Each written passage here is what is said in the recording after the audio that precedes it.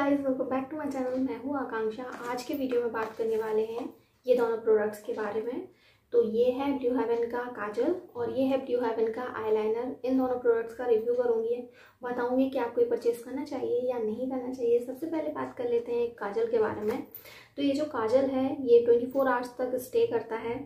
One stroke में आपके eyes पे अप्लाई हो जाएगा। ये two X intense black shock काजल है, जो कि वाटर प्रूफ है स्मच फ्री है स्मच प्रूफ है और इसमें एलोवेरा है, साथ ही साथ इसमें एंटीऑक्सीडेंट जिनको एक्सट्रैक्ट भी है, जो कि आई केयर भी करता है, आपकी आँखों में सूदिंग रहेगा जब आप इसको लगाओगे। और कई बार होता है ना कि कुछ काजल लगाने के बाद आपको आँसू निकल आते हैं या फिर ईचिंग होने लगती है, इसको लगाने के बाद ये सारी चीज़ें बिल्कुल भी नहीं होंगी। ये सारे क्लेम ये प्रोडक्ट करता है। और इजीली आप इसको लगाओगे तो रिमूव भी हो जाएगा। आप इसको मिसलर वाटर से या फिर किसी भी ऑयल से क्लेंजर की हेल्प से इसको रिमूव आसानी से कर सकते हो। और, ये तीन शेड्स में आता है। एक इसमें ब्लू आता है और एक इसमें ग्रीन शेड आता है और ये इसका कोल ब्लैक शेड है। और इसके प्राइस की बात करूँ तो ये वन ट्वेंटी फाइव रुपीज़ का है। ऑनलाइन ऑफलाइन ईजिली मिल जाएगा। ऑनलाइन लेंगे तो आपको इस पर कुछ डिस्काउंट्स भी मिल जाएँगे। तो ये कुछ ऐसा है। और इसका शेड बता देती हूँ, ये कितना ब्लैक है। तो आप देख सकते हो, काफ़ी अच्छा ब्लैक बिल्कुल कोल ब्लैक इसका शेड है। तो चलिए इसका शेड देख लेते हैं। ये आप देखो। काफ़ी ब्लैक है, एकदम ब्लैक है और क्योंकि ये स्मच प्रूफ है वाटर प्रूफ है तो वो भी देख लेते हैं।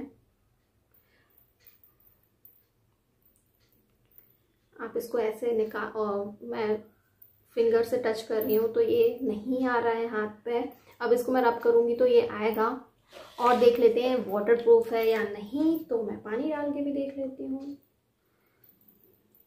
देखिए, ये पानी डालने पर भी नहीं हटा।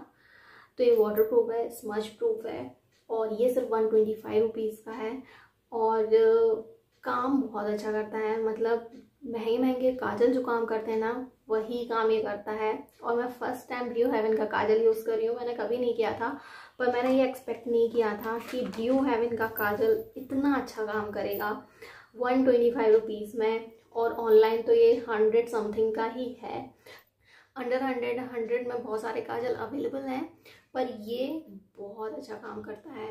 और एक बार आप आपको इसको परचेज करना चाहिए। और चौबीस घंटे तो आइस पे स्टे नहीं करता है, पर ये आराम से पाँच छः घंटे आँखों पे लगा रहता है।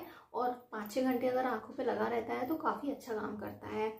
और मुझे बहुत पसंद आया। आप बिल्कुल इसको परचेज़ कर सकते हो। डिस्क्रिप्शन बॉक्स में इसकी लिंक मिल जाएगी। वहाँ से आप इसको ले सकते हैं। ऑफलाइन लेना चाहें तो ऑफलाइन भी कहीं भी मिल जाएगा। आप इसको परचेज़ कर सकते हैं। अब बात करते हैं आईलाइनर के बारे में। तो ये है मैट आईलाइनर लाइट वेट और ये भी स्मच प्रूफ है। ये छः छः शेड्स में आता है। Black blue green brown grey purple ये छः शेड्स में आता है। और इसकी प्राइस की बात करूँ तो ये सिर्फ़ सेवेंटी फाइव रुपीज़ का है। वैसे मैं कभी ब्लू आईलाइनर यूज़ नहीं करती हूँ, पर इधर मैंने ये देखा नहीं कि ये ब्लू है और मैंने बाय मिस्टेक इसको परचेज़ कर लिया, पर कोई बात नहीं। काफ़ी अच्छा शेड है।